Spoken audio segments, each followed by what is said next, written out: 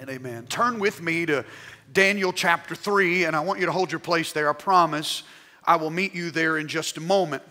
Today, I want to walk you through, continue walking you through some of the life verses that have formed and shaped my own personal spiritual journey. I've been doing that for the last few weeks. And if you were here last week, uh, this week's conversation is going to be whiplash compared to last week's. It's a totally different perspective on faith. Last week, I walked you through a pattern that is revealed in Scripture, both Old and New Testament, especially in the ministry of Jesus, where we see before God ever performs a miracle, he often asks for an act of irrational obedience on the end of the person or the people in need. It's there over and over again in the Bible. It's undeniable, unmistakable, a pattern that points to irrational obedience to God as a radical expression of faith, the kind of faith to which God responds miraculously. And we looked at these last week. But for example, John 5, Jesus tells the lame man, Take up your mat and walk. In John 9, he tells the blind man to go wash in the pool of Siloam. In Mark 3, he tells the man with the withered hand to stretch out his hand. In Luke 17, he tells the 10 lepers to go show themselves to the priest. And in John 11, at the tomb of Lazarus, he tells the grieving onlookers to take away or move the stone. In every one of these instances, the miracles happened on the other side of obedience. For example, Mary and Martha and the people gathered at Lazarus' tomb couldn't raise the dead, but they could move a rock.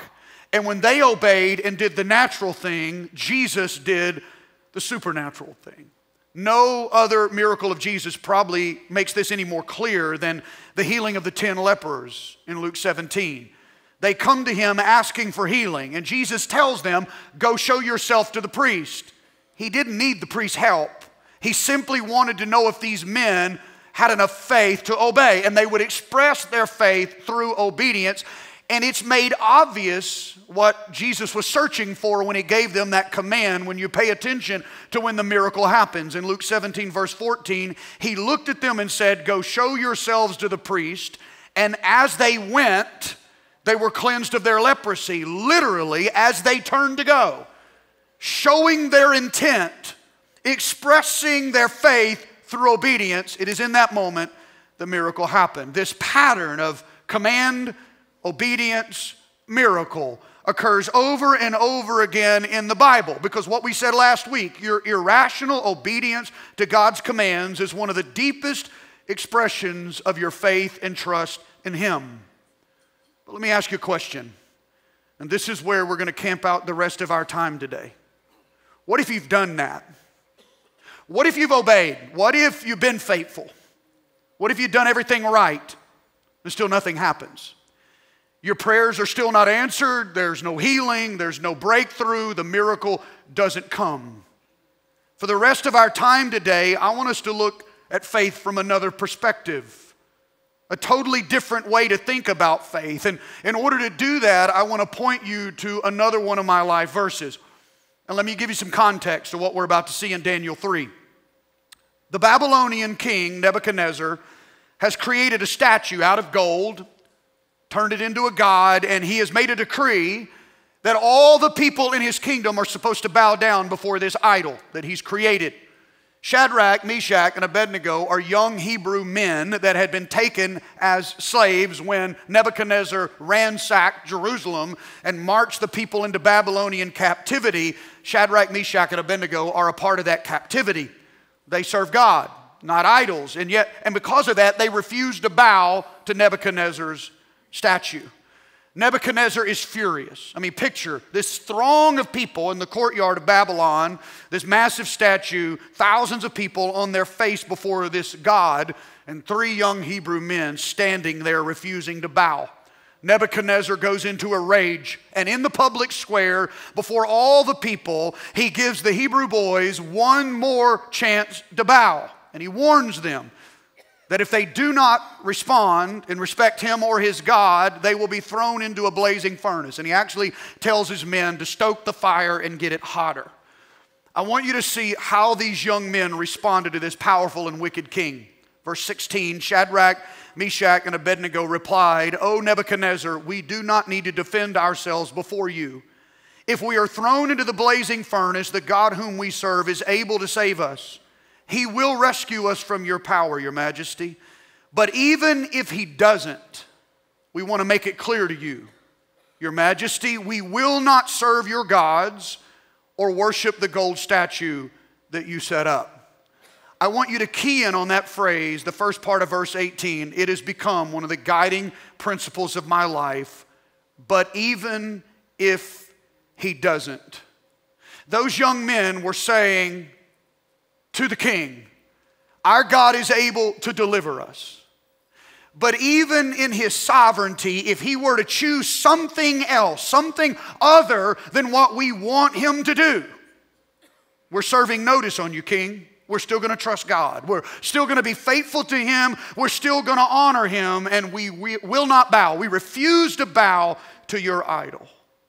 I want you to let that phrase get in your spirit today. But even if He doesn't, because there's an incredible amount of trust and faith in that expression. There is this real unmistakable tension in the Bible between what I preached last week and what I'm preaching to you this week. Both of them are there. And there's a tension between the two. There is this obvious pattern of radical, um, uh, irrational request, a command, and then irrational obedience setting miracles in motion. It's there. But there's also, at the same time, several instances in the Bible where people were full of faith, they were obedient, they did everything right and God still did not respond the way they wanted him to. This is what I call, but even if he doesn't, faith. It's faith that says, God is able to deliver me, He's able to heal me, He's able to provide for me, but even if He doesn't, I will still trust Him. I will still serve him, I will still worship him, and I will still honor him because I'm not serving him for what he does for me, but who he is to me. It's not about his hand, it's about his face, who he is, not what he does. I grew up in a theological framework that believed God answers prayer. We prayed for the sick.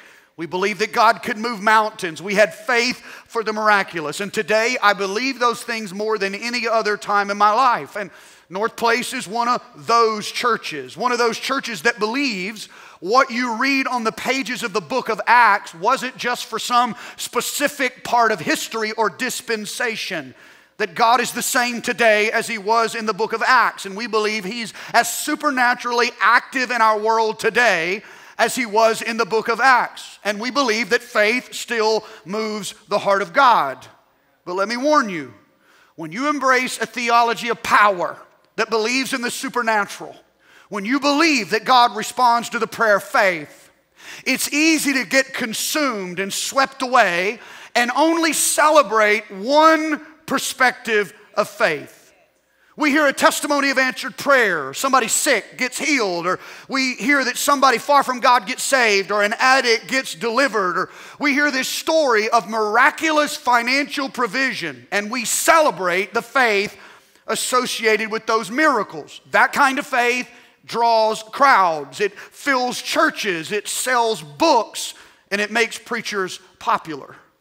Faith for the miraculous is marketable. It sells on Christian television and packs arenas. But there's another side of faith referenced in the Bible. I call it the flip side of faith. It's the underbelly of faith. It's not pretty, it's not marketable, and it doesn't pack arenas, but it's still a faith that captures the heart of God. But even if he doesn't faith, is the faith that will help you keep your wits when it seems like the heavens are brass and God isn't coming through. It's the kind of faith that will fuel your perseverance when the miracle doesn't come. Look with me to Hebrews chapter 11 and the writer of Hebrews here is going to address both perspectives of faith, what I preached about last week and what I'm telling you about right now. He addresses faith that sees the miraculous and faith that endures in the face of hardship and suffering. The entire chapter of Hebrews 11 is about faith. It starts with a definition of faith the substance of things hoped for, the evidence of things not seen. And then it moves from that into what is often called the roll call of the heroes of faith. The first 35 verses of Hebrews chapter 11 the writer names people and their great exploits by faith. He talks about Abraham and Enoch and Moses and Rahab, and he describes faith for the miraculous. All these incredible things that happen because of all of these people's faith. I mean, he talks about faith that moves mountains, and God responds with miracles. He describes the faith that parted the Red Sea, the faith that caused the walls of Jericho to fall flat. And then you get to verse 32. How much more do I need to say? It would take too long to recount the stories of the faith of Gideon, Barak, Samson, Jephthah, David, Samuel, and all the prophets. By faith, these people overthrew kingdoms. They ruled with justice and received what God had promised them. They shut the mouths of lions, quenched the flames of fire, escaped the edge of the sword. Their weakness was turned to strength. They became strong in battle and put whole armies to flight. Women received their loved ones back again from death. People were literally raised from the dead by faith. Now, that's the kind of faith that will pack an arena and draw a crowd. And to be honest, if we're all honest, that's, that's where we want our story. We want our story recorded in the first 35 verses of the book of Hebrews, uh, the, the first 35 verses of Hebrews 11. We want to see that kind of miracle. We want God to work supernaturally on our behalf. But the middle of verse 35 changes everything. Women receive their dead raised back to life again, that's 35a. When you start reading in 35b, you see the flip side of everything. If we could choose, we want 35a or before. But for some reason, some of us are called to live verse 35b and on. And this is where it gets ugly. This is where people are forced to live with a but even if he doesn't kind of faith. Here's what it says, verse 35b. But others were tortured, refusing to turn from God in order to get free. They placed their hope in a better life after the resurrection. Some were jeered at, and their backs were cut open with whips. Others were chained in prisons. Some died by stoning.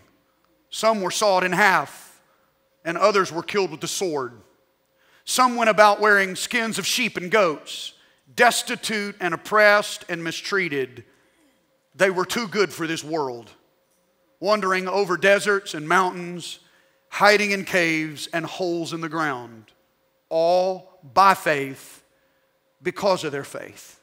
Remember, this entire chapter is in a chapter about people with incredible faith. And there is as much or more faith expressed by the people from 35b on as in the earlier verses of the chapter. Sometimes our faith sees the miracle, and sometimes the deepest expression of our faith is trusting God when the miracle and deliverance never come.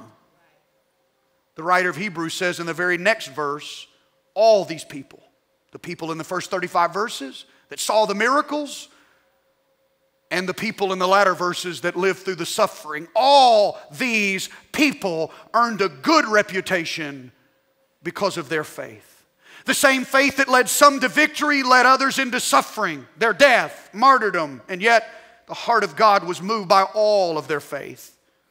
Some people will tell you that if you have enough faith, that God will give you everything you need or everything you want every single time. And if for some reason He doesn't, you must not have enough faith. My mentor, some of my mentors are up in years now, but they pastored a church when they were younger, went on to become the president of the seminary where I studied. When they were pastoring a church, they had an 11 year old daughter that died with leukemia. Some super spiritual people in their church had the audacity to tell them that if they would have had enough faith, their daughter would not have died. That kind of heretical theology is fueled by people that have turned God into a genie. They have made him their cosmic bellhop, and they think they can order him around in the name of faith. But just think about it for a moment.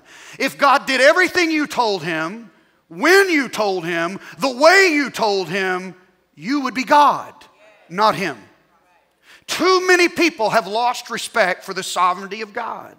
He's not your slot machine. He's not your Santa Claus. He's not just a gift giver doling out gifts. He is holy, He is righteous, He is just, and He is in control. And we've forgotten that God answers every prayer we pray. Sometimes He says yes, sometimes He says no, and sometimes He says wait.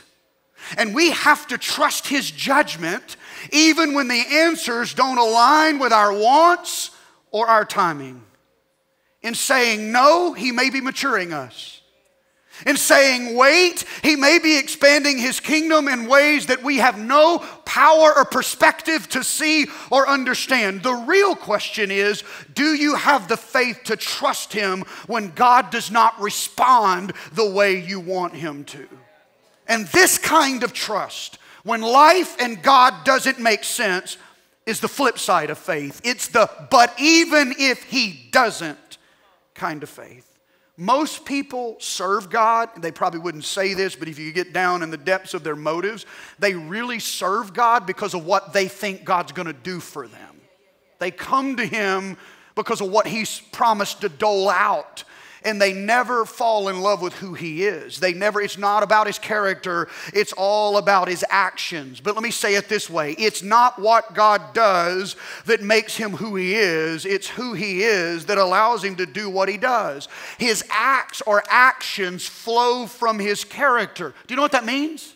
That means if God never performed another miracle, he'd still be God if he never answered another single prayer you prayed, he would still be God. He doesn't have to do another thing to prove himself. It's not what he does that proves who he is, it's who he is that empowers him to do what he does. And the flip side of faith is the faith that will keep you trusting him when your circumstances call on you to turn your back. The flip side of faith is the kind of faith that will keep you trusting him when he says no, or his silence makes you feel like he has chosen not to act the way you want him to.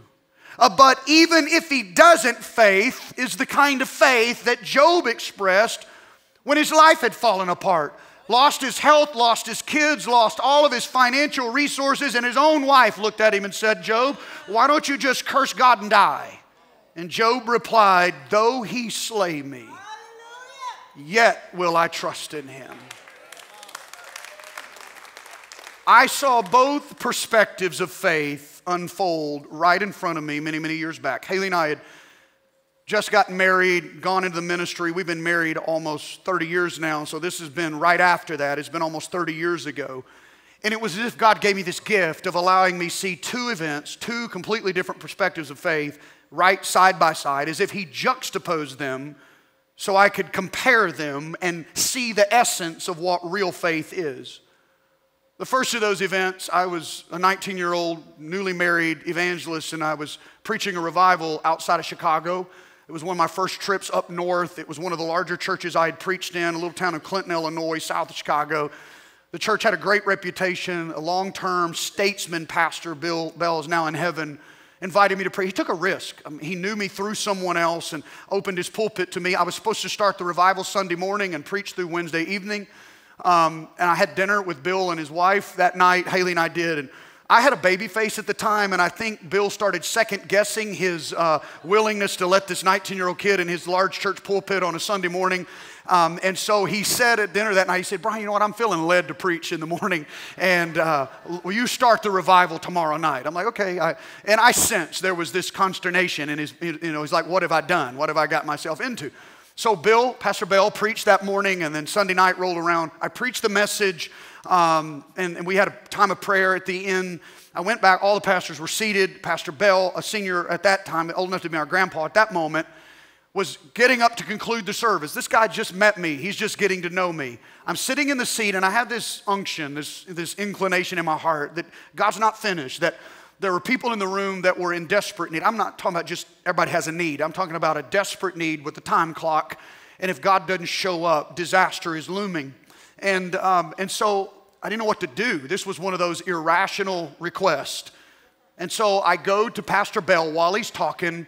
I get his ear and I say to him, You got to realize, he doesn't know me, I don't know him. I'm like, I just sense in my heart, we need to call some people forward for prayer that are in desperate need. And he could have said no and sent me to my seat, but Pastor Bell handed me the mic.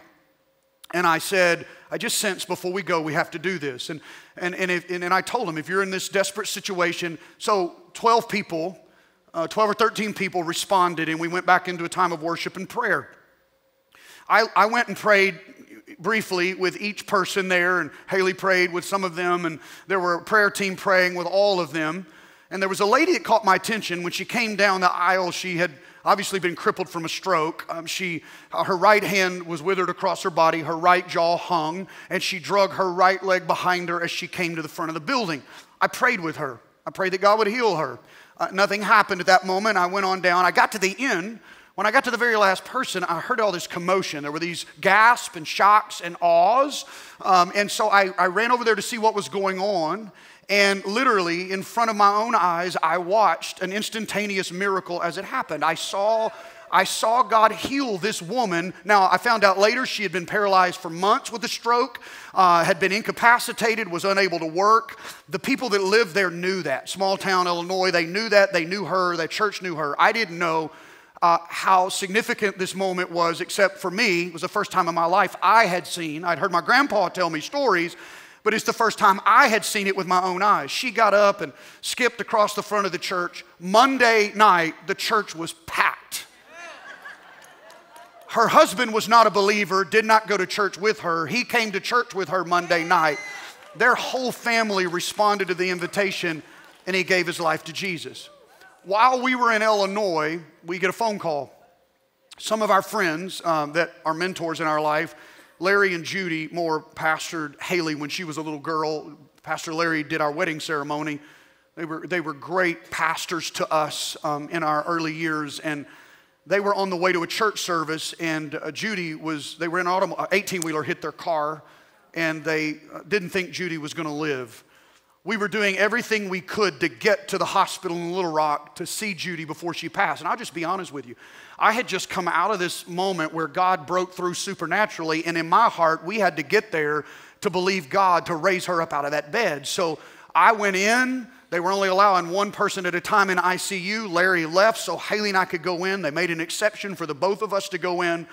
We gathered around her bed. You have to understand how disheartening it was. She was barely hanging on, coming in and out of consciousness. She had tubes and wires all in her body. She was conscious when we were in the room. We walked in, it had been three days since the accident. I stood on one side of the bed, Haley stood on the other side of the bed. And I started talking to her and I started telling her, Miss Judy, Haley and I have just come from an incredible moment where we've just seen God do some amazing things and our faith is high. We have come into this room to pray that God raises you up out of this bed. And she raised her hand up as if to stop me. Her cords and two IVs, they all went with her. And I want, what I'm about to tell you took her a long time to say. Haley leaned in to understand her, I leaned in to understand her, but I'm just going to tell you the summation of what she said to us in that moment. She said, I don't want you to pray for me. I thought, oh, she's gotten bitter because of what's happened. And then she's always had a sense of humor.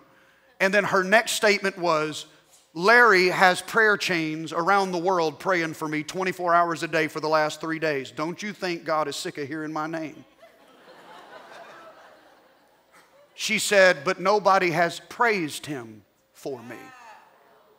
I haven't had a chance to lift my hands, and I cannot lift them on my own. So, Haley, would you use your hands under that elbow?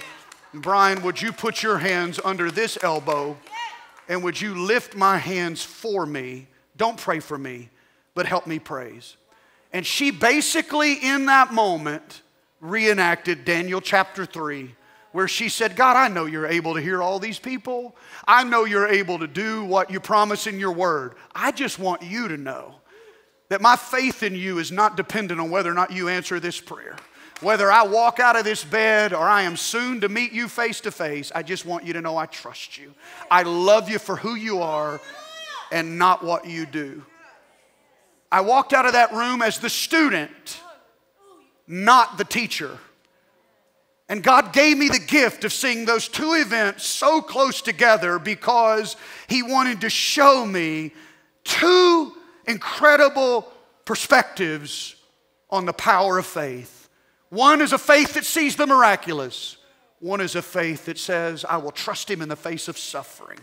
And both perspectives are faith in the Bible.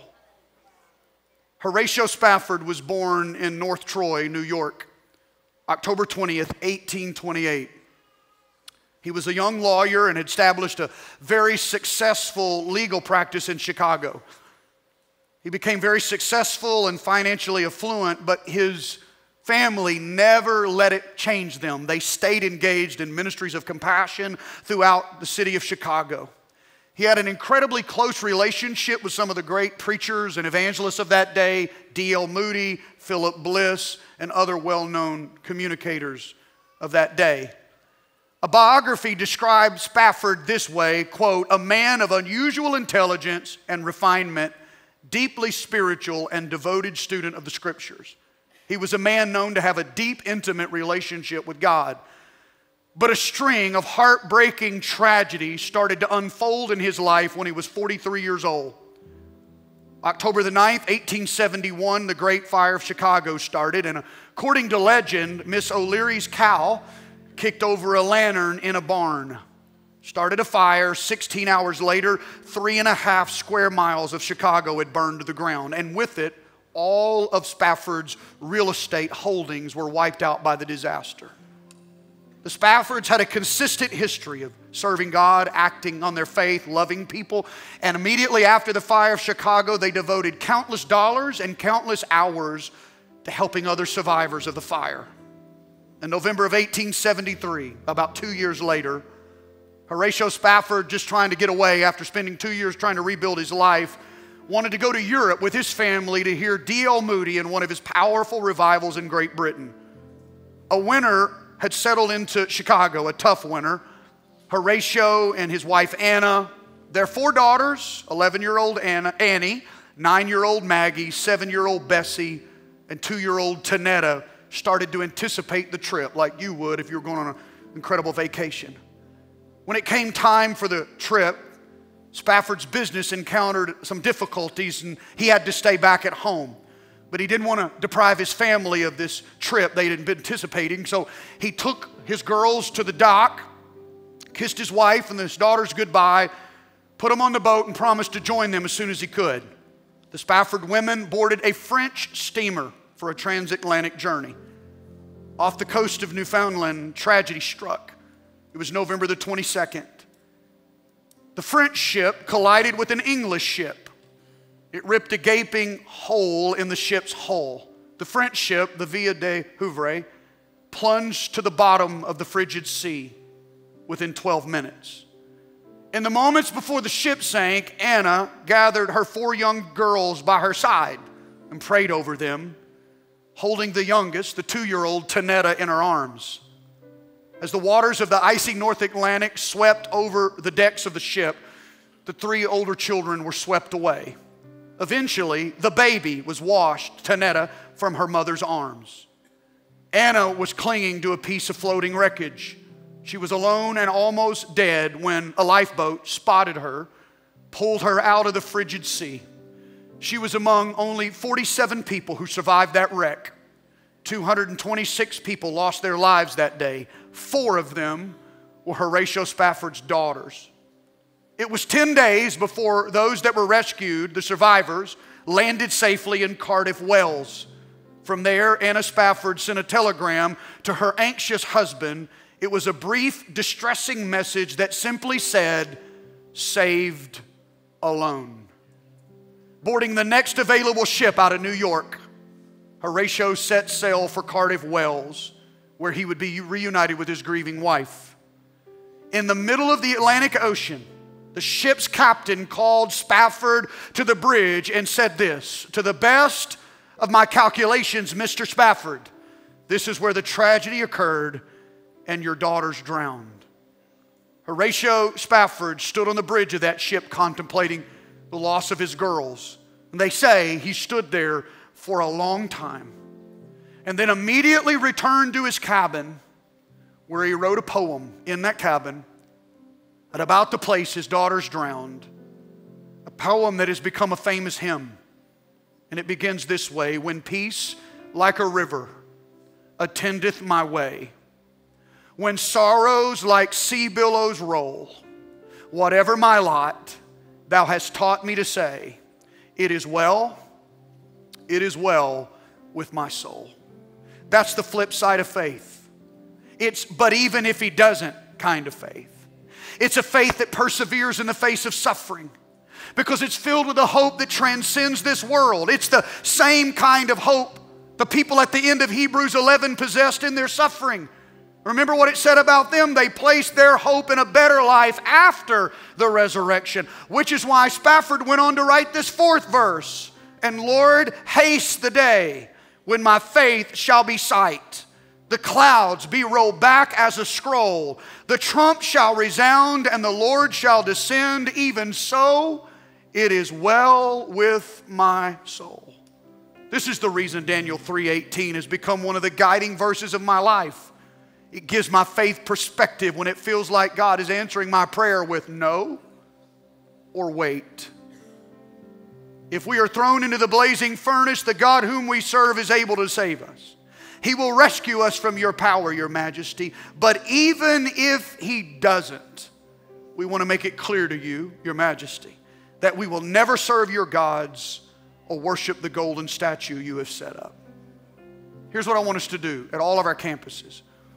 We're going to sing this song together as an act of faith. And we're going to sing this song, the first verse of this song, together. Saxy, our team here, is going to lead it, and we're all going to sing the first verse together. When we get to the chorus, we're going to go live at every campus, and your teams are going to take over there. So, would you stand with me all over this place today? And I want you to sing a declaration of trust and faith in the King of Kings and the Lord of Lords. But even if He doesn't, it is well with my soul.